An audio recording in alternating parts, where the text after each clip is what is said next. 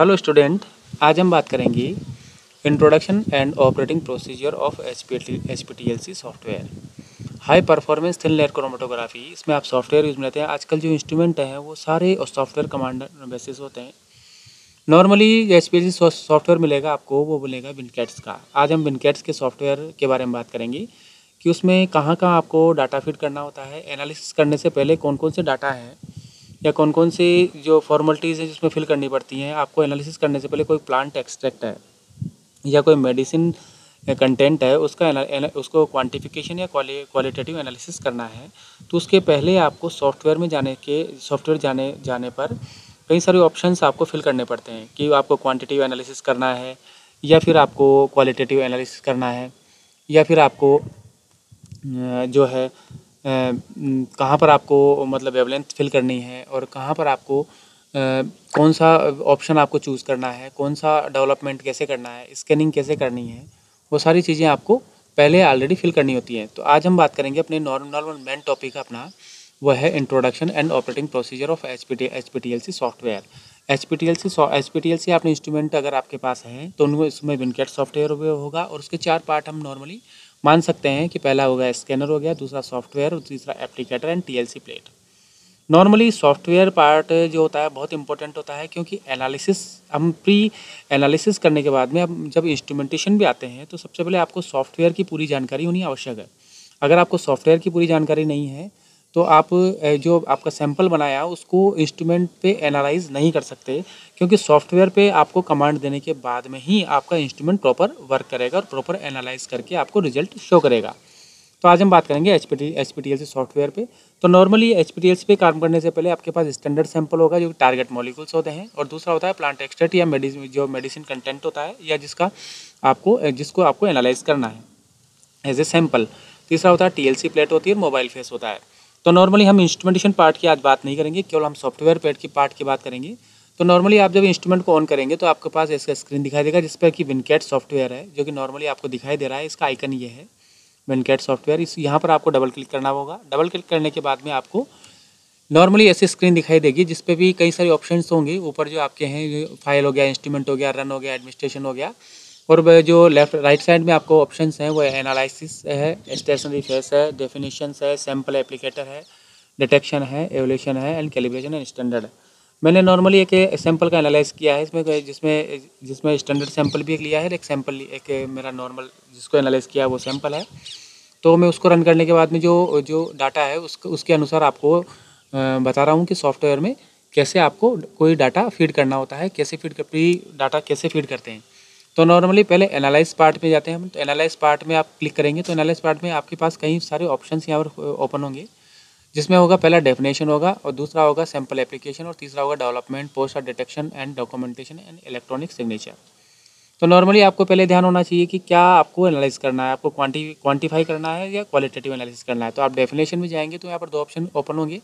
पहला है quantitative analysis और दूसरा होगा क्वान्टिफिकेशन तो आपको क्वान्टिफिकेशन में टिक करना है।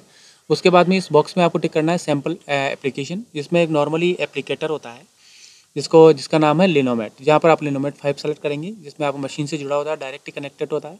फॉर एग्ज़ाम्पल आपको ये डायग्राम दिखाई दे रहा है लिनोमेट फाइव ऐसा ऑटोमेटिक मशीन होता है, जो कि डायरेक्टली स्पोर्ट को मर्क की, जो आपकी टीएलसी प्लेट है, उस पर उस पर अप्लाई करता है। उसमें एक सिरिंज होती है सिरिंज के थ्रू ये एप्लीकेशन होता है। तो यहाँ पर आपको सैंपल एप्लीकेशन आपको ऑटोमेटिक करना है तो ऑटोमेटिक और इसमें मैनुअली ऑटो मैनुअली आप स्पॉट अप्लाई नहीं कर सकते, केवल सैंपल एप्लीकेशन है, वो बहुत एक्यूरेसी एक्यूरेसी होती है तो इसके लिए आपको एक इंस्ट्रूमेंट के साथ में अटैच एक डिवाइस होती है, जिसे बोलते हैं नीलोमेट फाइव या एप्लीकेशन एप्लीकेटर तीसरा है, डेवलपमेंट आपको मैनुअली मैनुअली करना होता है।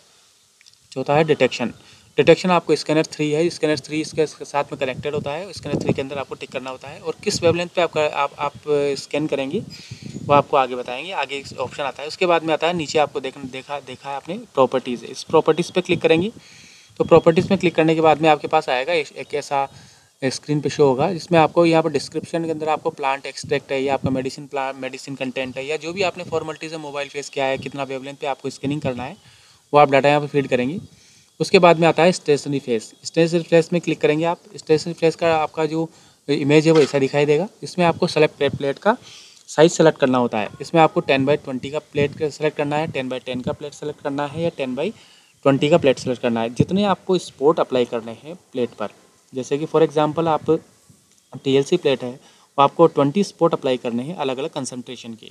और सैंपल के आपको चार स्पोर्ट अप्लाई करने हैं। सपोज़ आपको फोर्टीन स्पोर्ट अप्लाई करने हैं तो आपको टेन बाई ट्वेंटी की प्लेट लेनी होगी। अगर आपको कम स्पोर्ट अप्लाई करने हैं तो आपको उसका लेंथ और हाइट आपको कम लेना होगा। मीन्स टेन बाई टेन का प्लेट लेना होगा। तो नॉर्मली आपको बैंड विथ कितनी रखनी है उसकी?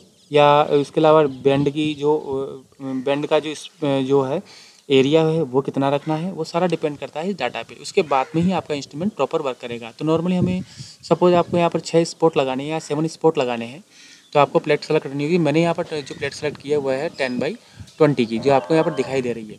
इसके बाद में जो टीएलसी प्लेट का है, वो जितना भी डाटा है, वो आपको यहाँ पर फ़ीड करना होगा। उसके बाद में आप जाते हैं डेफिनेशन एंड क्वान्टिटी के अंदर। डेफिनेशन क्वान्टिटी में आपको स्टैंडर्ड सैंपल है।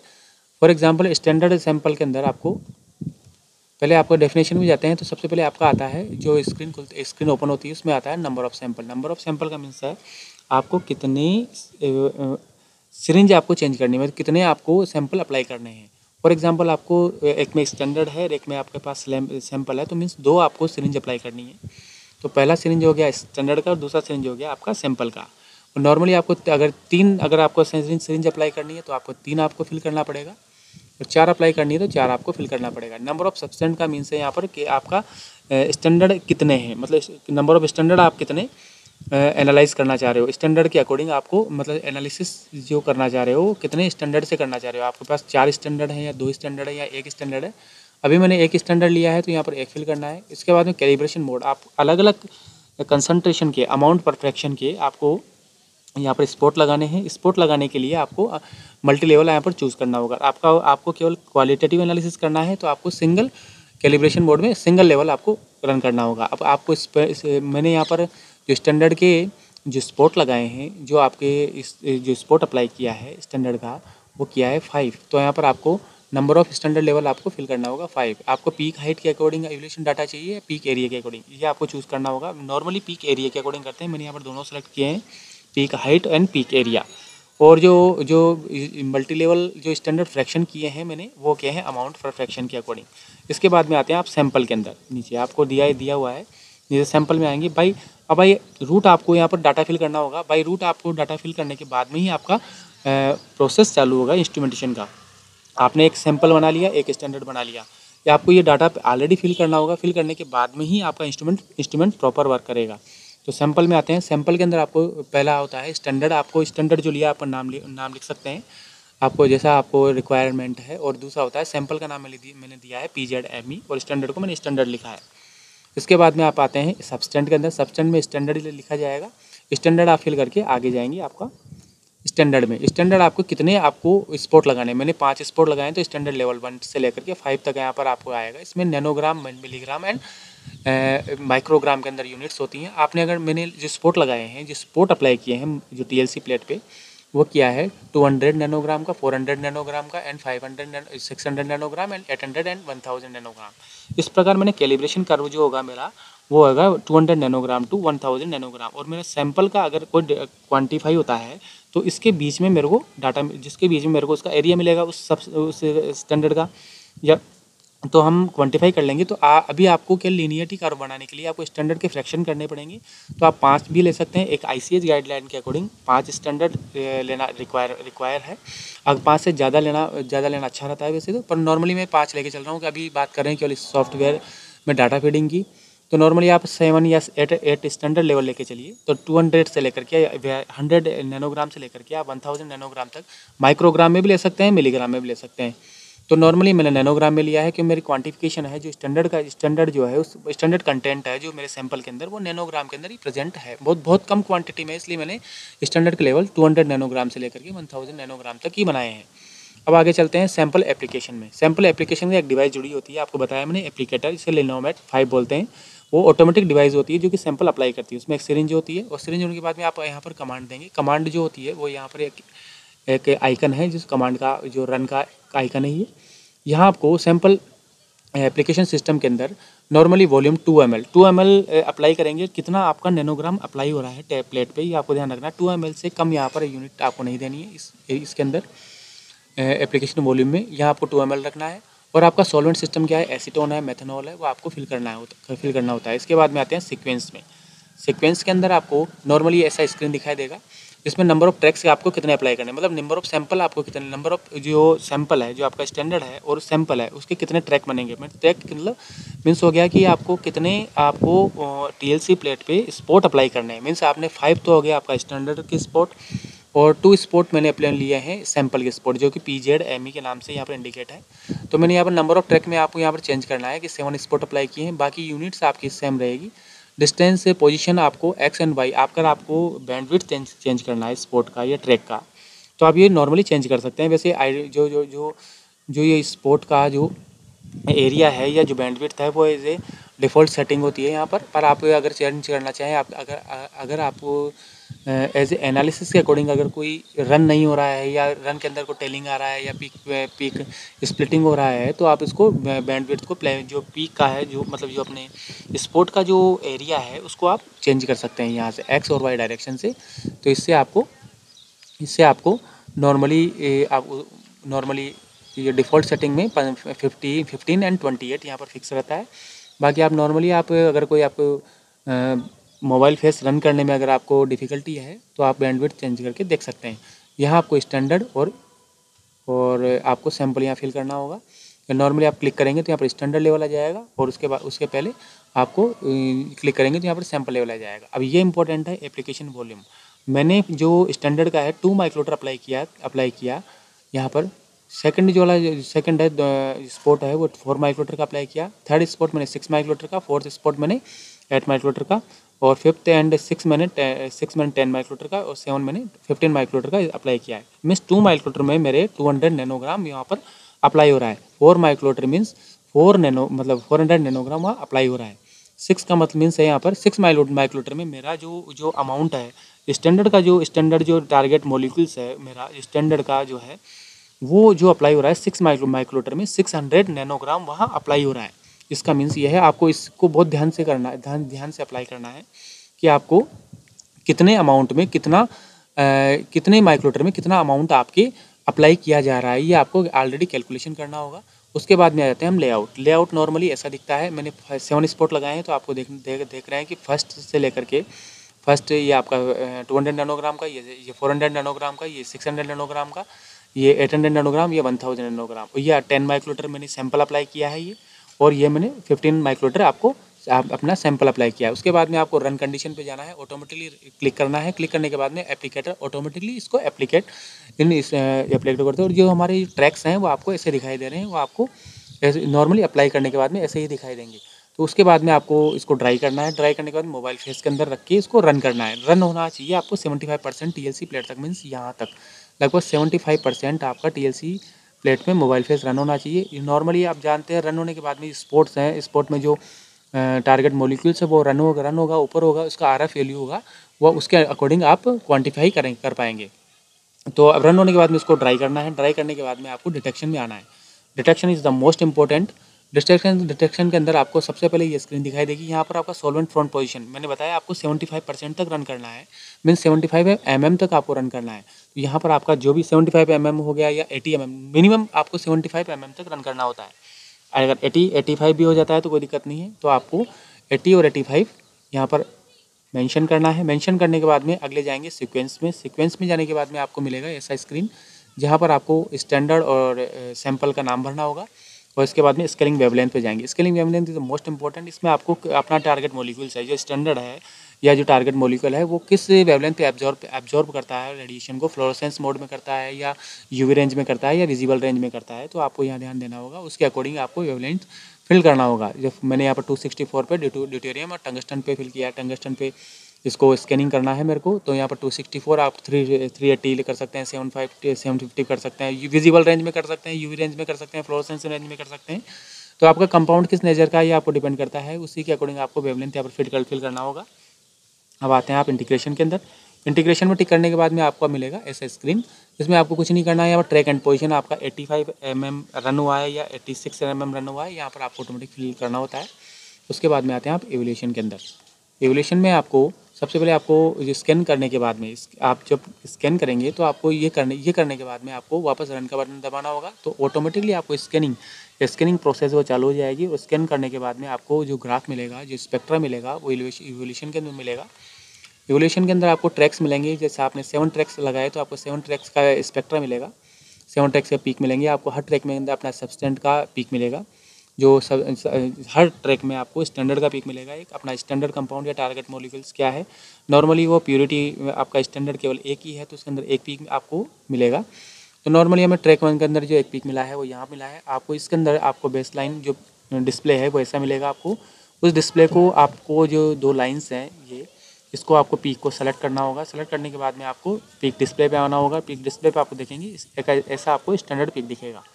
उसके बाद पीक टेबल में देखा, आना होगा। पीक टेबल में आपको इसका R F value and point एटर इसका आर एफ़ वैल्यू या पॉइंट सॉरी इसका जो आर एफ़ वैल्यू है, वो है point nine four point nine four आपको आर एफ़ वैल्यू मिला है इसका। इसी प्रकार ट्रैक टू के अंदर आप देखेंगे ट्रैक टू में भी आपको ऐसे पीक सेलेक्ट करना होगा पीक डिस्प्ले पे जाना होगा और पीक टेबल आपको देखनी होगी। नॉर्मली जो स्टैंडर्ड की पीक है, वो फिक्स आर एफ़ पे आप आपको मिलेंगी। तो आपको ये देखना होगा फाइव तक आपका जो पीक है, जो डिस्प्ले है, वो ऐसा दिख ऐसा होना चाहिए और इसके बाद में आप सिक्स और सेवन पे जाएँगे। सिक्स पे जाएँगे। तो नॉर्मली आपको सिक्स नंबर का आपका जो है, वो आपका जो है सैंपल है।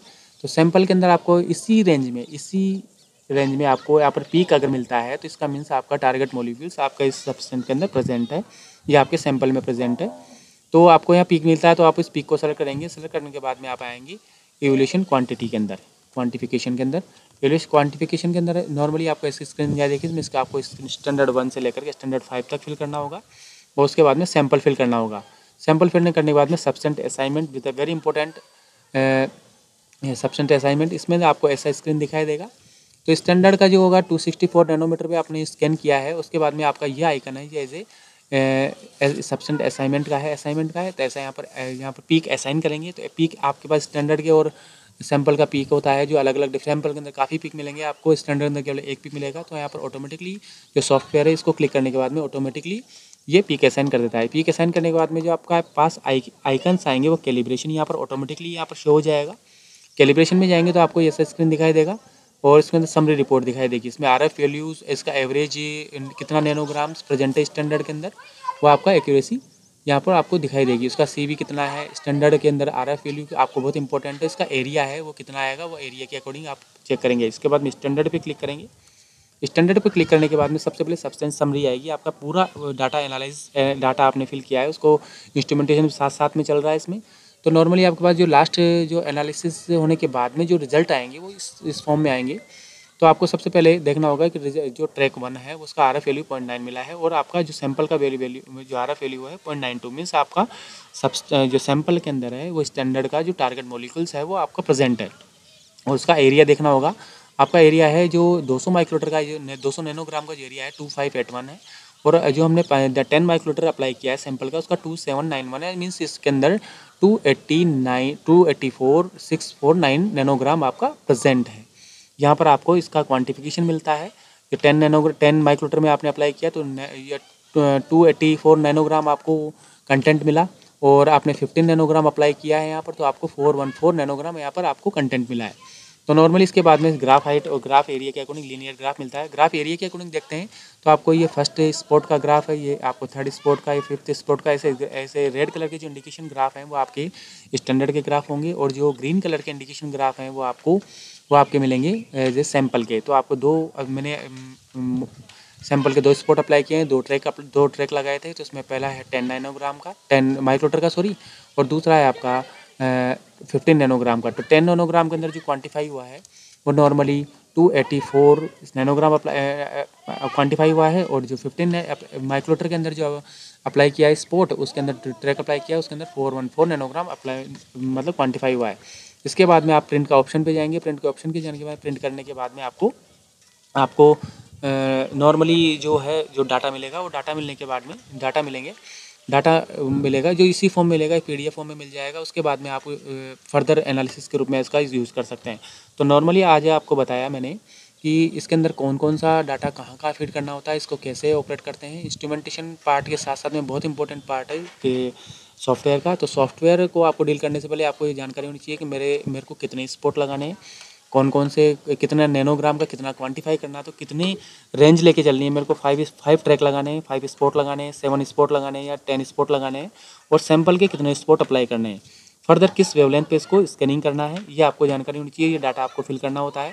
फिल करने के बाद में आपको जो रिज़ल्ट होगा वैसे एक्यूरेट रिज़ल्ट आपको वैसे मिलेगा। बहुत इंपॉर्टेंट चीज़ है, आपको कैसे पीक सेलेक्ट करना है, ये मैंने बताया आपको यहाँ पर, आपका स्टैंडर्ड का पीक आएगा सिंपल एक पीक आएगा आपको तो इसको सेलेक्ट करना है। सेलेक्ट करने के बाद में आपको आपको सैंपल को पीक को सेलेक्ट करना है। सैंपल में आपका पीक अगर मिलता है तो मीन्स आपका टारगेट मोलिकुल्स आपका सैंपल में प्रेजेंट है।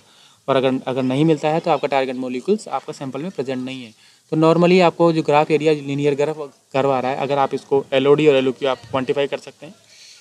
इसका रिग्रेशन है पॉइंट नाइन नाइन फाइव आया है और H D three point five six आया एज ए रिसर्च पर्पज़ के अकॉर्डिंग आपको ये डाटा रिक्वायर होता है लीनियर लीनियर कर्व रिक्वायर होता है साथ साथ में इसका क्वान्टिफिकेशन रिक्वायर होता है। इसके बाद में आपका इसका इसको आप फर्दर आप इंट्राडे और इंट्राडे, इंटरडे आपको एनालिसिस करके आपको रिसर्च पेपर के अंदर, आपको पब्लिश करने के अंदर आपको और आसानी होगी। या फिर हम एनालाइज करके आप डाटा आपको फर्दर यूज़ के लिए आप यूज़ ले सकते हैं। तो आज की वीडियो में इतना ही। आज मैंने बताया कि कैसे मतलब सॉफ्टवेयर के अंदर डाटा फ़ीड करते हैं, कैसे आप कैसे आप उसको एनालाइज करेंगे। एनालाइज एनालाइज करने से पहले आपको कौन कौन से डाटा की रिक्वायर होती है।